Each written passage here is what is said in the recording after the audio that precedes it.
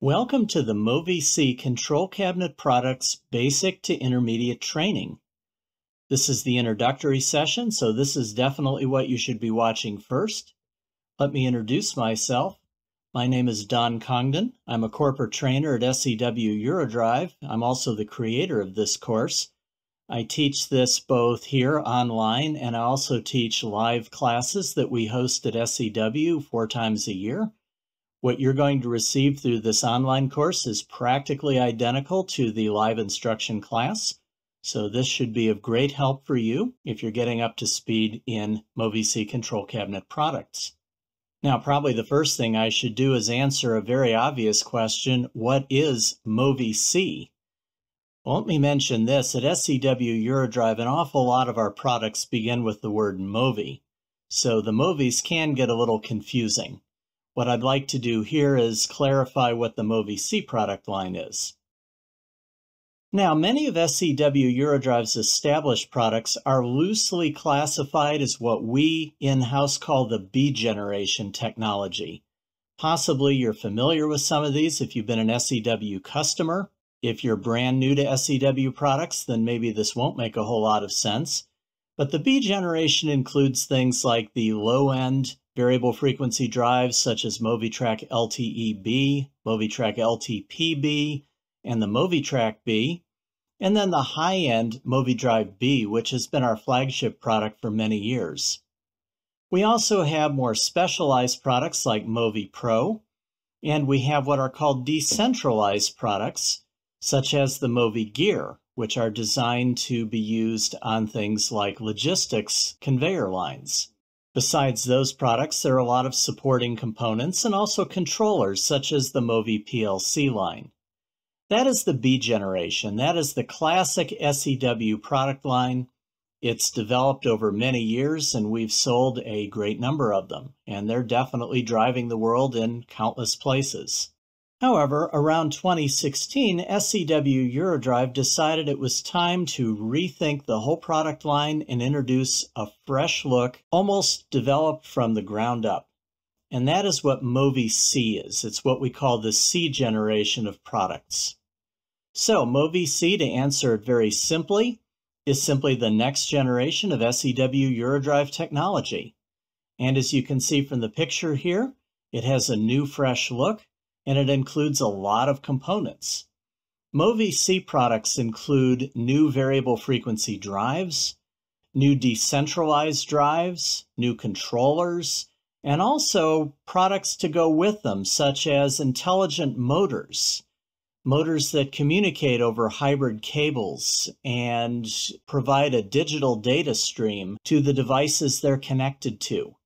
Movi-C is an exciting new product line that we expect to become the backbone of SEW Eurodrive electronics for many years to come. So that is what you're here to learn about the Movi-C technology. By the way, simply as an aside, if you are an existing customer or you have some B generation technology like Movidrive B, we do offer online courses in those products as well. If you take a look on YouTube, you will find we offer the equivalent of a two day course in Movidrive B. So we are certainly supporting our existing and older products just as much as our up and coming products. You might want to take a look at some of those. But let's move ahead now and talk about Movi-C, which is what you're here to study. First of all, there's a real question you might be asking if you're new to SEW. What is so great about Movi-C besides the fact that it's new? Well, I can answer that with a single word, and that is consistency. The Movi-C product line, above all, is consistent. The entire product line, which includes many different components, follows a consistent design paradigm. It is a well thought through product line where you find consistency from one product to the next. And that means when you get up to speed in one product, you'll be able to quickly transition to understanding other products in the Movi-C line. The knowledge you learn from one product applies to the others. And I have found this myself as I've been getting up to speed in new Movi-C products as they come over to the United States from Germany and I get to play with them I have been very impressed with the overall consistency. The advantage to this, it means you're not constantly climbing steep new learning curves. Yes, every new product has a learning curve, but they're not that steep. Once you understand the MoviC paradigm, you will have very little trouble adapting to new MoviC products as you encounter them. That has not necessarily been true with older products. Many of our earlier products were sort of unique unto themselves, and what you learned about one did not necessarily apply to another. But with MoviC, it's really just a very well thought through, consistent package of technology. Okay, now before you start taking this class, there's a few things you need to know. First of all, who's the class for? Well, I would say anyone who's interested in learning about MoviC control cabinet products. You can be a total beginner, you can be an experienced user. I think you'll gain something from this class. This class is also designed both for SEW Eurodrive internal people who wish to learn about product or our customers. It's equally appropriate to both. And if you, for some reason, want to come to one of our live classes, that's the perspective we take there. If you sit down in one of those classes, you may find yourself sitting next to an SEW employee or an SEW customer. So this class really is designed for everybody. Now, that said, what do you need to take this class besides yourself? Well, the big thing, of course, you need if you want to take full advantage of it is you need to have a demo unit or trainer. Now, I'm showing you a typical example. This is actually the one sitting on my desk right next to me. This one includes two MoviC VFDs. You do not need two of them for this class. It just happens to be the demo unit I have. Now, if you're an SEW Eurodrive employee, you can probably get a hold of one of these from the training department. You can borrow one while you're taking the class. If you're a customer, however, then you're going to have to come up with something on your own to help you. So if you're an SEW employee, try to get a hold of one of our standard demo units. If you're a customer, let me make a few recommendations what you need. The first thing you need to get a hold of is a MoviDrive technology. That is the variable frequency drive we're going to be using in this course. Doesn't matter what size, you probably want one of the smaller ones just for convenience, but really any one will work. So get yourself a MoviDrive technology. You're also going to need a motor with an encoder or resolver. Now it can be an asynchronous motor or a synchronous servo motor like the example I'm showing here. I like the servo motors just because they're compact and quiet and don't weigh a whole lot, but it doesn't really matter. But it is important that it has a feedback device, an encoder of some kind, or if it's a servo motor, a resolver is fine as well. It cannot be a purely open loop control motor or you won't be able to do all the activities in this class. The ideal thing would be to have both an asynchronous motor and a servo motor. But if you have just one or the other, you can do almost everything in the class. You're going to need a control box to connect up to the inputs and outputs on the MoviDrive technology. This is a standard SEW demo control box. It has some switches and lights on it, and these allow you to interact with the variable frequency drive. You could put something like this together yourself or you could get something similar to a standard control box. That's up to you, but you do need the ability to trigger the digital inputs and get some feedback by indicator lights. So you need a control box. You also need the USM21A USB adapter. This allows you to communicate between your PC and the VFD you cannot use one of the older USB adapters that SEW sold. You do need to have the new one, the gray one, not the orange one. And it needs to have the correct cables. Normally it comes with a cable set with all the different cable styles that are possible, but you'll need one that can connect to the MoviDrive technology. You'll need a computer loaded with our Movi Suite engineering software, and you just need the standard edition, which is free, and you can download it from SEW from their website. To do one of the labs, you will need the CBG21A keypad. You can see that attached to the MoviDrive technology there. It's the full color keypad. If you do not have this, it's okay. You'll just have to skip the hands-on activity, but of course you can watch it but you should have it if you want the full experience so you can learn to use the keypad. Okay, that is all you really need to have to cover everything in this course. So either assemble it together yourself or get a demo unit or a trainer. Here, by the way, is where you can download Movi Suite, the engineering software. You go to seweurodrive.com, pick the Products tab, then pick Software, Startup and Engineering, and then Movi C Engineering Software, Movi Suite. Download the standard package and install it, and you're good to go. By the way, it takes a little time to install, so give yourself enough time. And that is all you'll need for this class. So what are the goals? What do I want you to achieve as you work your way through the different sessions that we have here on the YouTube channel? Well, first of all, I want you to understand the Movi-C control cabinet family branches because there are several. And you should be able, by the time you're done, to summarize the qualities and features of each branch, to tell them apart, to know how they differ from each other, to know which ones are better for certain applications than others. I also want you to be able to explain the role and sizing of Movi-C controllers. Some Movi-C products require an external controller. They come in different sizes. I want you to be able to decide what size might be necessary and what the size information tells you. You should be able to summarize the control cabinet product options as well. You should be able to compare and contrast the motor control modes that are available. The variable frequency drives you're going to learn about support four different motor control modes. You need to understand what each one is for and which one is best for a given application. You should understand the Movi-C control cabinet product nomenclature. Nomenclature can be very confusing and complicated. Every company has its own unique nomenclature. SEW Eurodrive is no exception. Ours is a little challenging for a beginner to master, but I'll step you through it and you'll be able to look at a label on a Movi-C product and understand what it can do.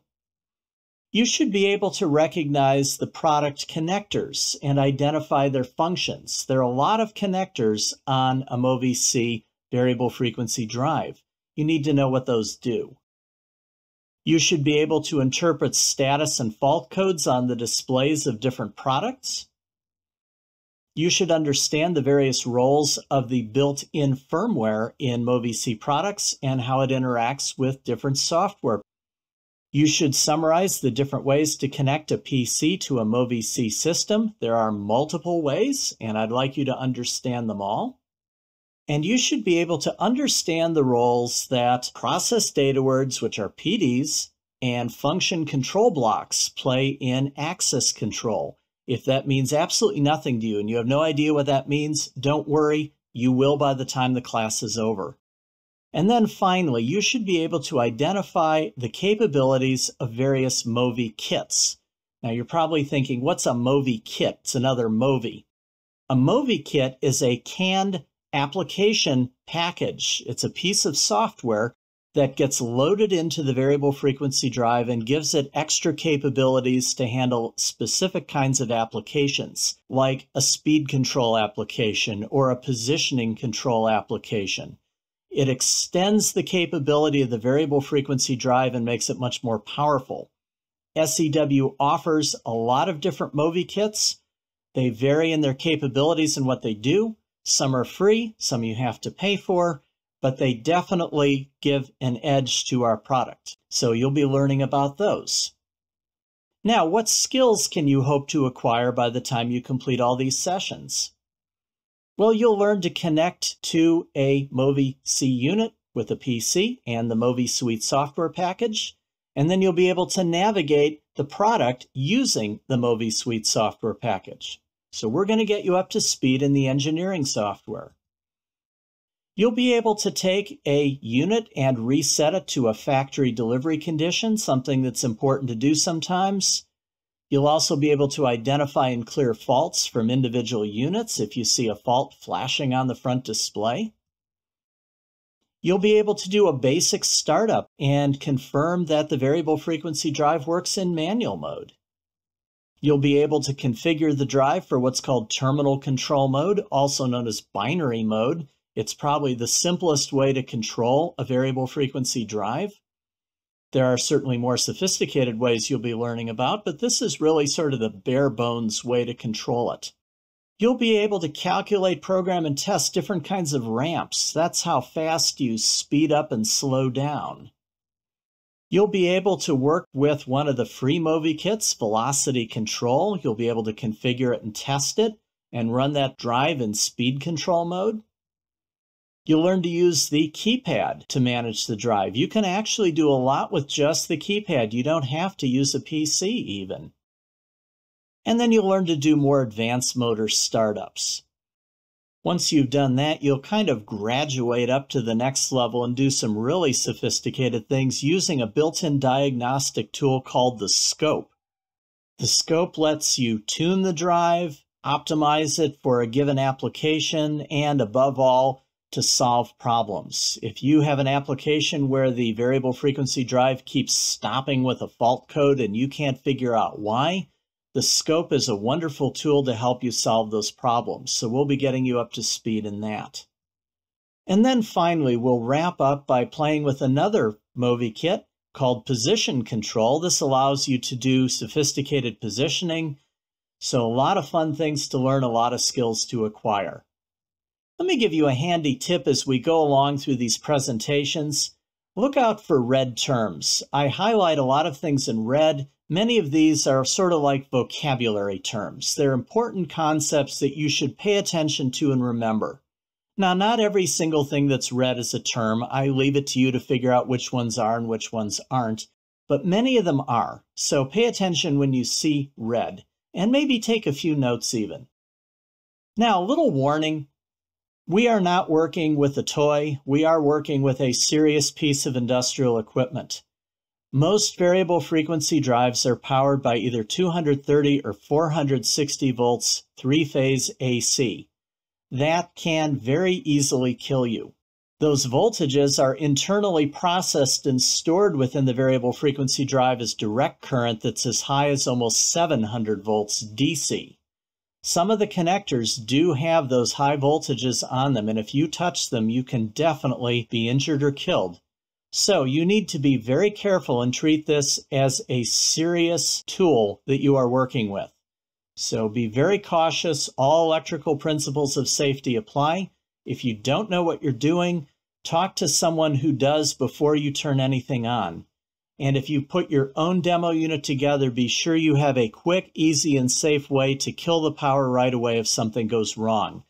A big red switch is a smart idea. So please be sensible and cautious and ask for help if you need it. A word about documentation. SEW Eurodrive publishes all its documentation in PDF form. You can get it from the website. Let me point you to a few things that will be a good idea to have handy. First of all, you probably want to get the product manual for the MoviDrive technology. You should go on the website and get the most recent edition. This is currently the most recent edition when we're making this video, but of course that could change. So start there. Then there's the Compact Operating Instructions Manual, which is kind of the abridged edition, tells you just the essentials you need to know to get started. There's also the full operating instructions, which is much more complete. And then finally, if you really want to know absolutely everything about MoviDrive technology, or if you're suffering from insomnia, the MoviDrive Technology Parameter Manual, which talks about every single operating parameter inside the unit. These four manuals are extremely useful. Now, of course, in most cases, you don't have to delve that deeply to get things done. This class will really help you to do almost everything, but I do point you to these things because they really can help. Now, how do you find these on our website? Well, you go to seweurodrive.com and then you click the online support, data and documents, change from the CAD data to the documentation tab, and just type MoviDrive technology in. The search list will come up and you will get a lot of choices and you can download those PDFs. Final thing, what if you have questions as you go along? You're working and something just does not make sense? You are welcome to email the training department. That's our email address there. training at seweurodrive.com. And I do ask you to include Movi C class in the subject line just so your email goes to the right person. We will be happy to help you with any questions you have about the class. Of course, be aware we are not a technical support department. We cannot deal with your actual applications. We're not here to give advice on that. We are here purely to support this course.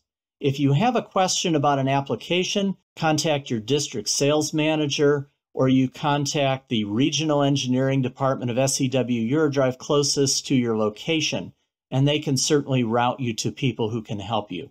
But if you have questions about the class, we are more than happy to help you out.